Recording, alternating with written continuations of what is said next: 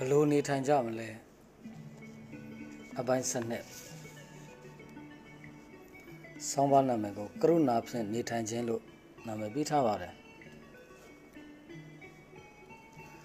အပမညာဆိုတဲ့စကားလေးကိုရှေးဥစွာသိထားတတ်ပါတယ်ကရုဏာကိုပြောတဲ့အခါအပမညာဆိုတဲ့အဓိပ္ပာယ်ကိုခွဲခြားနားလည်ထားမှပုံမူပြီးတော့ပွားများမှုအတွက်တရားမှုရှိပါလိမ့်မယ်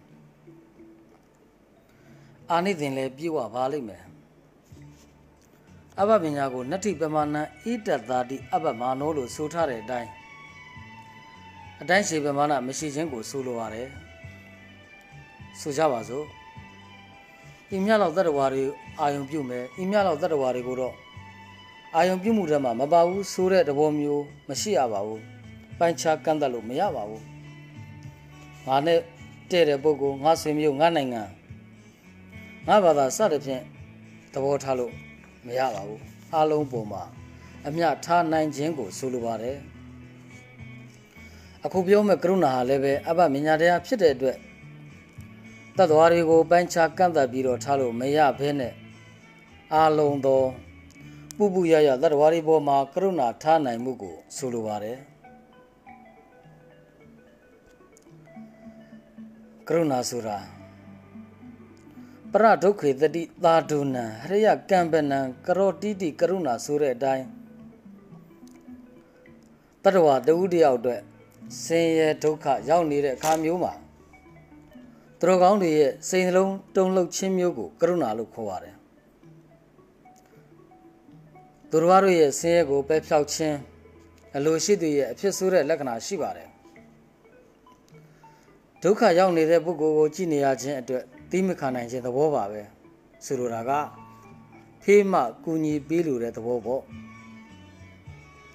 စာနာနားလည်ပြီးတနာကျင်နာမှုဖြစ်စေတဲ့သဘောပါပဲဒုက္ခိတတ္တဝါကိုအာယုံပြုပါတယ်ဝိဟိန်သာလို့ဆိုတဲ့ဆင်းရဲခြင်းရဲ့စံကျင်ဘက်တရားလည်းဖြစ်ပါတယ်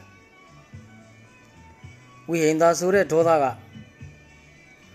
သူတော်ဘာကိုဆင်းရဲလိုတာနှိပ်စက်လိုတာနာကျင်အောင်လုပ်တာညှင်းဆဲလိုတဲ့သဘောပါပဲကရုဏာကတော့အဲ့လိုမျိုးမဟုတ်ပါဘူးတတဝါတွေကိုမညှင်းဆဲတဲ့အပြင်အဲ့ဒီဆင်းရဲမှုအပေါင်းကနေထုတ်ဆဲလိုတဲ့သဘောပါပဲဒါကြောင့်ကရုဏာနဲ့နေထိုင်ခြင်းဟာဆင်းရဲတဲ့တတဝါတွေရဲ့ခိုနားရာအဖြစ်မိတွေရာအဖြစ်ကိုယ်ွယ်အားထားရာအဖြစ်ရှိနေပါလိမ့်မယ် တောကရဲ့ဆန့်ကျင်ဘက်ဖြစ်တဲ့အတွက်ဝမ်းနည်းမှုစိုးရင်ကြောင်းကြမှုဆိုတာတော့မရှိပါဘူးယောနိသောမနတိကာရကိုအခြေခံရပါမယ်ကောင်းတဲ့စေတသိက်ဖြစ်တဲ့အတွက်ကုသိုလ်ရဲ့သဘောလက္ခဏာအတိုင်းတန်ရှင်းစင်ကြယ်နေဖို့တော့လိုအပ်ပါတယ်မြန်မာစကားတစ်လုံးရှိပါတယ်ကျင်နာခြင်းနဲ့နာကျင်ခြင်းဆိုတဲ့စကားပါ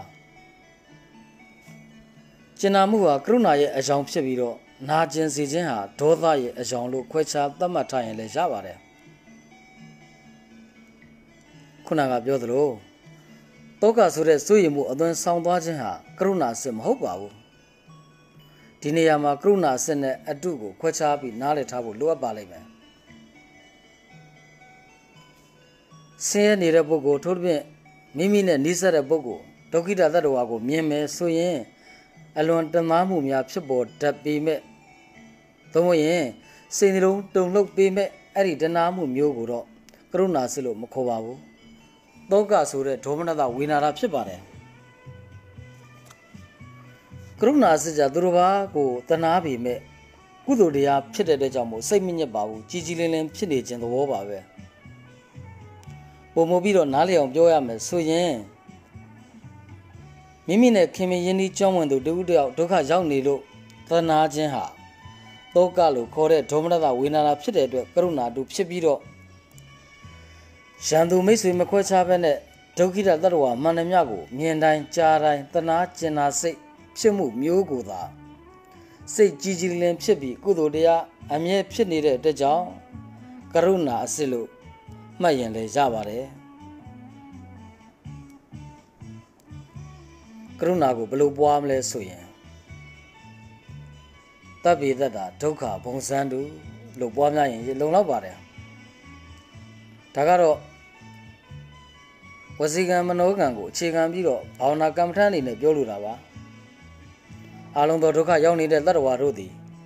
ဆင်းရဲဒုက္ခအပေါင်းမှလွတ်မြောက်ပါစေလို့ဆိုပြီးပွားများရင်ရပါတယ်အဲ့ဒီလိုမဟုတ်ဘဲနဲ့ကာယကံကရုဏာဝစီကံကရုဏာမနောကံကရုဏာအနေနဲ့လည်းပဲ ဓာတ်ရိုက်အကျိုးသက်ရောက်မှုရှိအောင်ပြုလုပ်ပေးခြင်းဟာလည်းကောင်းမွန်တဲ့လုပ်ရဖြစ်ပါတယ်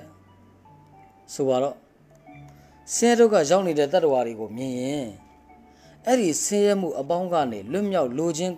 ကရုဏာဖြစ်နေတဲ့အတွက်ကြောင့်ကိုတက်နိုင်တဲ့ဘက်ကနေကိုညီပေးခြင်းကိုဆိုလိုပါတယ်စားရမယ်တောက်ရမယ်နေရမယ်အနေထားမျိုးမှာရှိတဲ့တတ္တဝါတွေကိုတွေ့ကြုံလာတဲ့အခါစားနိုင်အောင်ကိုညီထောက်ပံ့ပေးမှုမျိုးကိုဆိုလိုပါတယ် ဒါကတော့ဓာတ်ရိုက်ကာယကံကရုဏာအနေနဲ့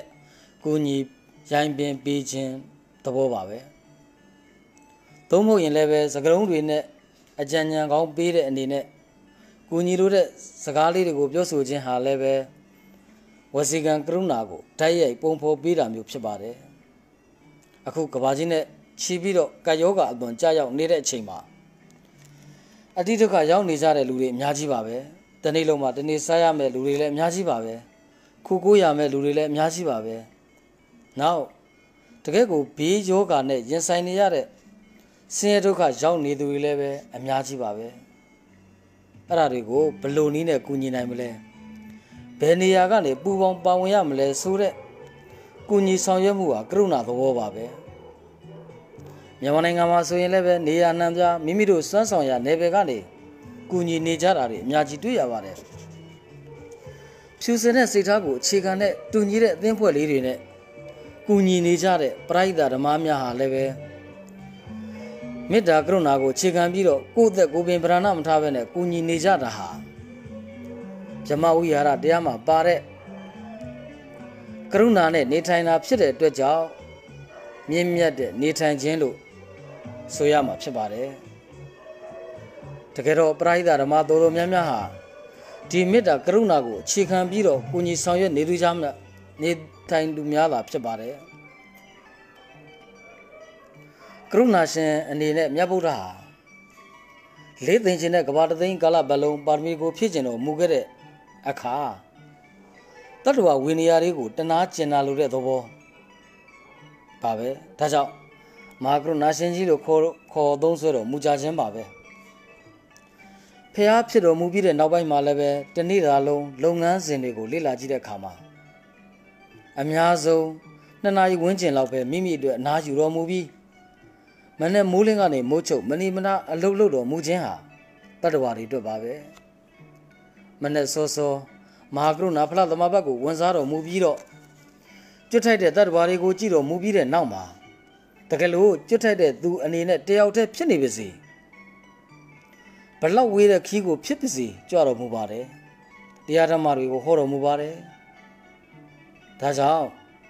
မြတ်ဗုဒ္ဓဟာတန်တရားဝဆင်းရဲမှာမျိုးပါနေတဲ့ဒုက္ခိတသတ္တဝါတွေအတွက်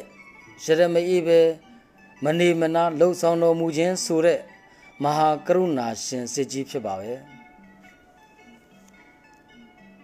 မြတ်ဗုဒ္ဓပြီးတော့တနာသာသနာတော်မှာကရုဏာတရားကြီးမားတော်မူတာကတော့ တတိယဘာဝကကြီးဖြစ်တော်မူတဲ့အရှင်မဟာကတ္တဝကိုရောမြတ်ကြီးဖြစ်ပါတယ်ချမ်းသာကြွယ်ဝတဲ့အမျိုးကနေရဟန်းပြုလာပါတယ်ရုပ်ဆင်းအင်္ဂါချုံမိုးလှပတဲ့မထေကြီးပါပဲပိဏဘတ်ဒုတင်ကိုဆောင်းသူပြီးပြီးဆွန့်ခံပြီးတော့ဆွန့်ဖုံးပြီးတော်မူပါတယ်အဲ့ဒီလိုဆွန့်ခံကြွတဲ့အခါမှာလည်းပဲအထူးသဖြင့်ဆင်းရဲသားတွေကိုချီးမြှောက်လိုတဲ့အတွက် ဆင်းရဲသားရက်ွက်တွေကိုကြွပြီးတော့ဆွန့်ခံဖုံးပေးတာများပါတယ်တခါကားဆိုနူနာယောဂါတဲ့လောင်းလိုက်တဲ့ဆွန့်ထဲမှာသွေးပြည်တွေနဲ့လက်တချောင်းပြုတ်ကျသွားတာကိုမြင်လာတော့ရင်ရှာခြင်းကင်းပြီးတော့အသာယာဖယ်ပြီးတော့နူနာယောဂါတဲ့ကိုနူနာယောဂါတဲ့ဖြစ်တဲ့ဆင်းရဲသားကိုချီးမြှောက်လိုတဲ့အတွက်ဖုံးပေးတာမျိုးထိကရုဏာတရားကြီးမားတော်မူလာပါတယ်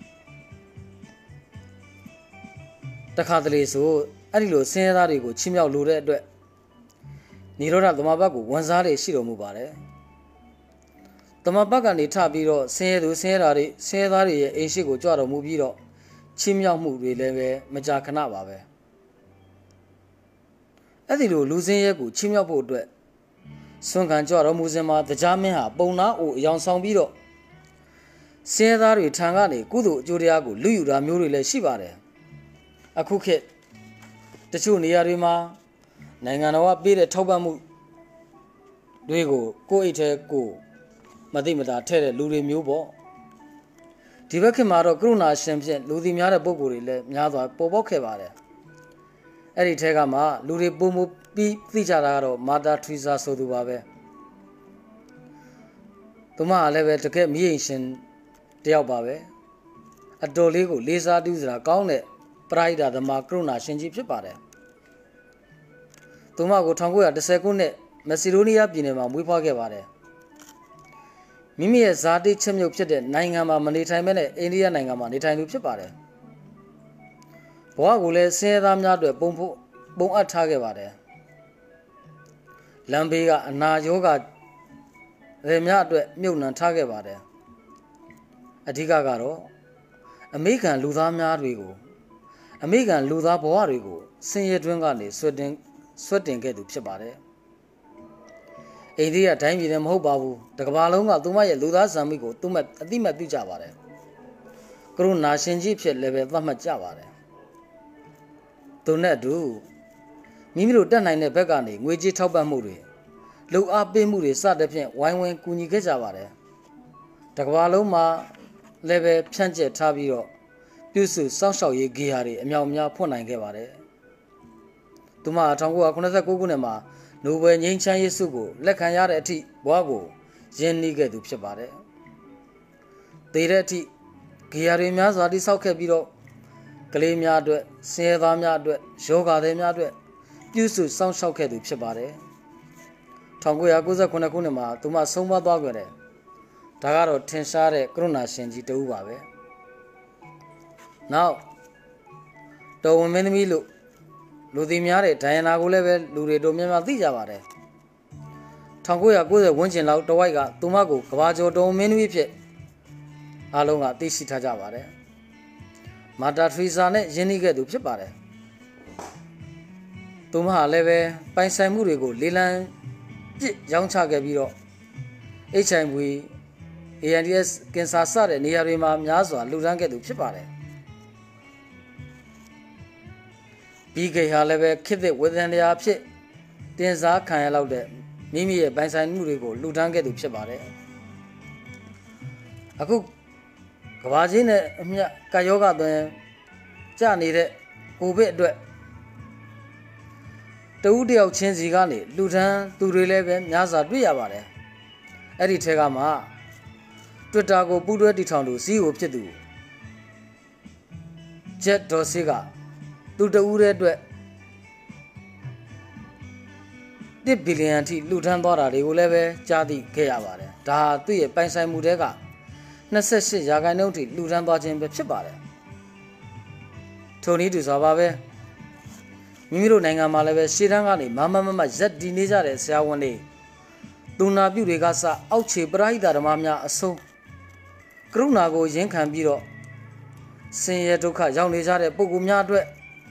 မိမိတို့စွမ်းဆောင်မှုနယ်ပယ်သီးသီးကနေထဲထဲဝင်ဝင်ပါဝင်ကူညီတဲ့ဟာများစွာဂုဏ်ယူစရာကောင်းလာပါတယ်။ဒါလည်းပဲတကယ့်ကိုစစ်မှန်တဲ့ကရုကရုဏာရှင်များဖြစ်ပါတယ်။ထိုနည်းတူစွာနေရာထိုင်ခင်းစားတော့စရာသုံးဆွဲစရာမျိုးစုံကိုဖန်တီးပေးပြီးတော့ရှေ့တန်းကနေမာမမတ်မတ်ရက်တီးပေးကြတဲ့ဆရာတော်များစွာလည်းရှိပါတယ်။သူတို့ဟာလည်းပဲကရုဏာနှလုံးသားနဲ့မေတ္တာစေနာရင်းခံပြီးတော့ကုညီစောင့်ရှောက်ပေးခဲ့ကြမှာဖြစ်ပါတယ်။ အမတန်မှလည်းပဲအတူယူလေးစားတဲ့အကျဉ်းချုပ်ဝေရာဆရာတော်များဖြစ်ပါတယ်စစ်မှန်တဲ့ကရုဏာကဘာကြီးအငြိမ်းချမ်းမှုအသွင်ကိုဆောင်းစေပါလိမ့်မယ်လူသားအသိစိတ်နဲ့ရက်တိုင်းထားတဲ့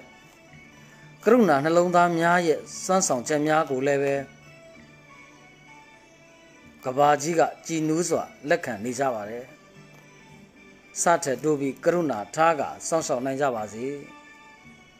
တပ်ပေတ္တာဒုက္ခမုံစန်းတူတတ္တဝါတွေယခုလက်ရှိ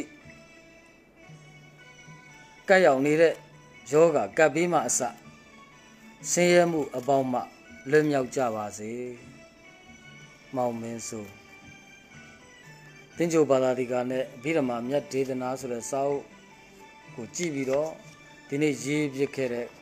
ကရုဏာဖြင့်နေထိုင်ခြင်းဆိုတဲ့ဆောင်းပါးဖြစ်ပါတယ်အလုံးနားထောင်ပေးကြတဲ့အတွက်ကျေးဇူးတင်ပါတယ်